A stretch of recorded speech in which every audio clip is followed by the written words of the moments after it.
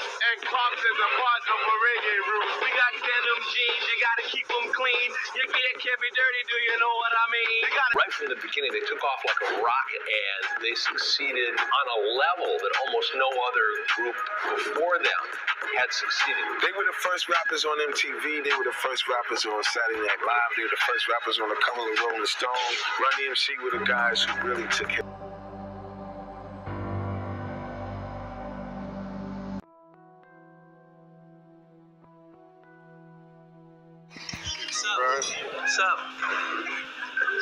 Popularity. Something like that. You gotta do a song by that title, yeah? Yeah. This is Run. I'm DMC in a place to be. I'm Jam Master Jay. Master. Hurricane.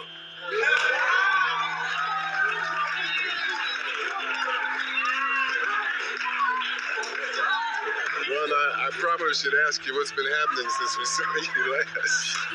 Oh, well, we But just. you may not feel like talking about it. I talk about we just came from Holland and Germany and England and France and everywhere, and now I'm here.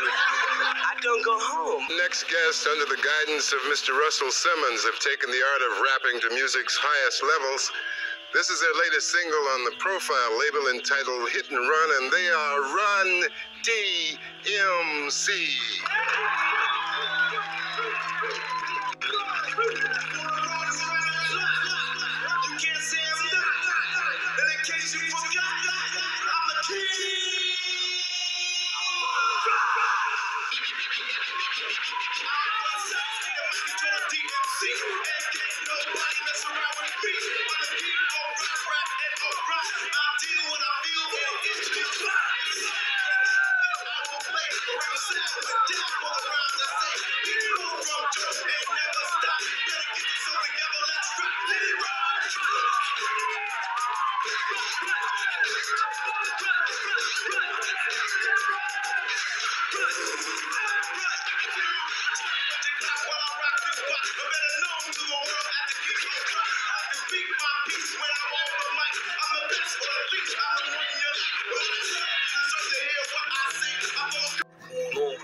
outside of Run DMC.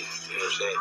Well, DMC, he got a couple of hip hop groups he's putting out. He's shopping them right now. Run, he got a um a gospel label called Reverend Run Records, and that's hitting right now. It's doing some hip hop gospel type stuff. It's gonna be real cool. Um, myself, I got JMJ Records doing a couple R&B things. Onyx is coming out. We doing finishing up their second album. It's the bomb. And I got my man Jayo Felony. He here right now. Jayo Jayo Felony from San Diego. I got a little West Coast flavor coming out of JMJ.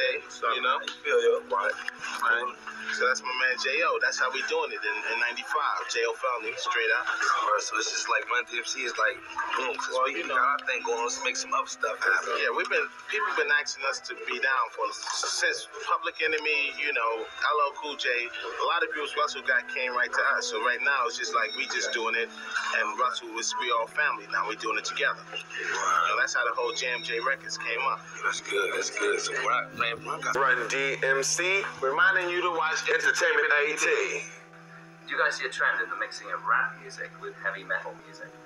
What do you mean by trend? By like other people trying to do it, what we do? Well, this is not like the first rap record and with rock on, it, and it won't be the last. I'm sure other people will want to do something that's successful. You know what I mean? Like when the first person made Burger King, the next person said, "Hey, I want to give me a Burger King store too." You know what I mean? So, of course, people will try to do something that they know is is successful.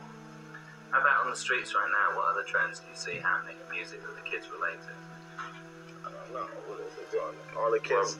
Well, basically, they um, they get more raw. You know what I'm saying? Going back to basics and Everybody's going back to the basics. back. They're telling stories now, funny stories. You know, stuff that you wouldn't normally do because you so hard trying to sell a rap record. But now that we done established that, we can you know Now introduce to the people, let them see how versatile it is. What influences in music affected you when you were growing up? And what, how, how these influences shown in your music? Well, we always listened to we was we always like hardcore music, hardcore tapes that they used to have around our neighborhood. Meaning that we didn't like we like R&B. We listen to the radio and listen to disco, but we usually like when MCs would get on the mic and have the echo chamber say, "It's like that, y'all, y'all. You don't stop, stop, stop. Keep on, on." You know what I mean? Rock and then the beat, hands. sick, sick it, doom, psh, and just the beat play, and the guy would rhyme over the beat For an hour. Step, stop. Done. You're done. You're done. Oh, you're done. Y'all beat me That's right. I scored the last one. Yo, welcome back, and of course, fellas, you know I've been on you guys for quite a while, Yeah, you right? know. And I know everybody out there who's watching Rap City want to know what took Run DMC so long to come out. Well, actually, we set up two record companies. We got JMJ Records with the Afros. Uh, we got JDK Records, that's our record company. We got Smooth Ice, man to jump out of a helicopter, you know, beat people up, with J- James Bond to rap. So we made like six albums within this time. Our album and five other artists.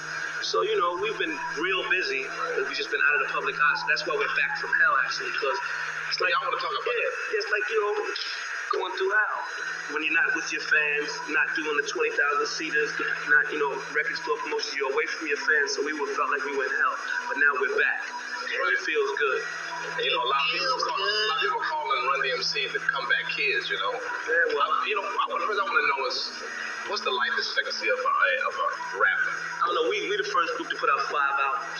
They all went platinum, so, you know, there is no expectancy. You know, expectancy, how, how old do you expect to live? That's the question.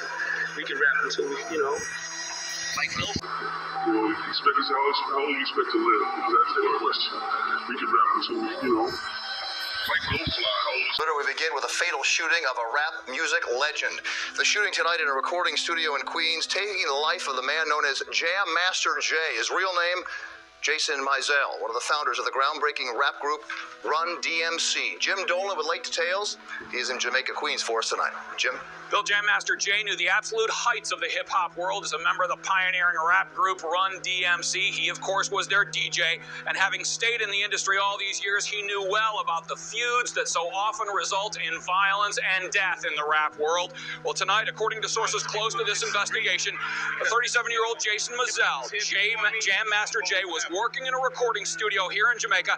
He and a 25 year old male Hispanic were relaxing in a lounge near the studio when a man walked into the studio, gun drawn, and opened fire. Mizell was struck once in the head and killed instantly. Another, the other man was seriously injured, shot once in the chest. Police have no one yet in custody.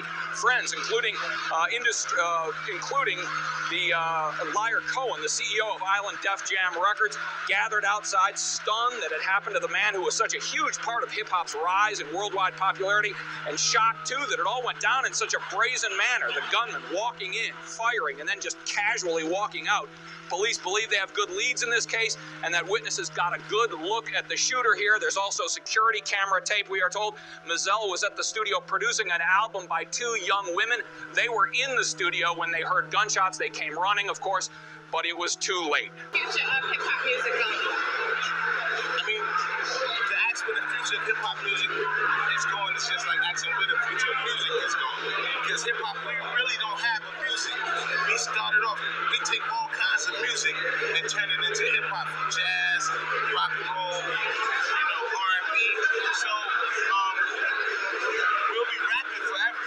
How long you think this rap game? You know, rap and hip hop, rappers, rap over hip hop. Rap is gonna be along around as long as people are singing, as long as people are making songs, we're gonna be rapping. Hip hop is gonna be around as long as people are just breathing. Because this, you know, hip hop was here before me and it's gonna go on forever. known the world over. He was a DJ for Run DMC, born in Brooklyn, raised in Queens. His death 18 years ago still hurts. Last time I saw him, he was in the park playing baseball with the kids. It devastated us all. We didn't know what to do. We just loved Jay. In Hollis, a mural in honor of Jam Master Jay still sits to this day. rappers look up to Jam Master Jay, like, cause he he set the outlet for us to, to do what we wanted to do in the industry. While many still remember his work, what was left unknown until now is why he was killed and who did it. That question now answered after a grand jury returned indictments on Carl Jordan Jr. and Ronald Washington. They walked in and they murdered him in cold blood. Federal prosecutors revealed in court documents Jam Master Jay, whose real name is Jason Mizell, had been trafficking cocaine. They say Jordan and Washington plotted his murder after they were cut out of a deal. For NYPD Chief of Detectives Rodney Harrison, these charges carry some significance.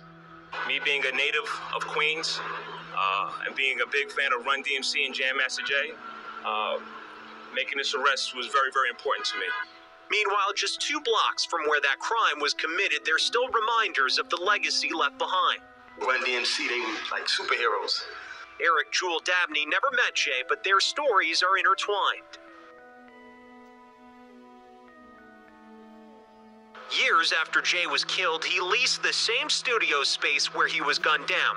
He found records, home movies, posters, all left behind. Focus on witnesses and security cameras. The studio where Jay was shot is outfitted with several security cameras, but did they capture the killer? Jim Dolan is live in Jamaica, Queens with late details for us. Jim? Adana, there are four security cameras between the door and the lounge where Jam Master Jay was murdered last night, but there was not videotape in all of them, and so there are still open questions. Was there an accomplice, and was there a struggle before the fired shots? Well, on those subjects, ABC News has learned there is some disagreement among the witnesses. Well, the case was unsolved for 15 years. But then in 2017, authorities announced they actually have two suspects that are being charged with it uh, Ronald Washington and Carl Jordan Jr., who happens to be the godson yeah, yeah, of Jam Master Jay. Yeah, Big I guess son. I guess this was uh, Run DMC's bodyguard's son. No, he wasn't a bodyguard. He was a um, he was a road manager. Okay, road That's manager. because Lyor Cohen became the road manager. He, Got it. He's the road manager. Yeah, and I mean Carl Jordan Jr. on his Instagram page, he's sitting next to Jam Master Jay murals, talking about yo, I miss my man and rest in peace and everything else like that. You come to find out that this is one of the two dudes that allegedly killed him. Yeah. Yeah, but you heard that. I heard it, and I and I know him. I know him. You know both those guys or just Carl? I know the other guy. You know, because the night the night when I went to Jay's house before you know for the wake and all that, we go you pay respect. He was there. Wait, wait, wait, wait, wait, wait. Carl Jordan Jr., the guy who's charged with killing Jam Master Yeah, Jay. the other one. Went. Oh, oh, uh, Ronald Washington. Tenard. He was there. He goes to Jam Master Jay's wake. He was no. He goes to his house. He was living in Jay's house. house. He was living in his sister's house. He was living in the house. Yeah. Congratulate you on being inducted into Hollywood's Rock Walk. That's got to be awesome. Thank you. I know you've had a you know a lot of pit stops to make here and stuff, but I mean, is this like winning the gold at the Olympics to you? Yeah, this is like we, we, we looked at this like you know, you, you win awards for songs and albums and how well your year went. It's like a lifetime achievement award from the whole rock and roll. You know, from music to us, it's like a lifetime achievement award, award not from the Grammys or not from the American Music Awards, but from music. Uh, you guys are innovators. That's why you're getting this. I lead and you sucker MCs into our feed to take flat, there's nothing in the world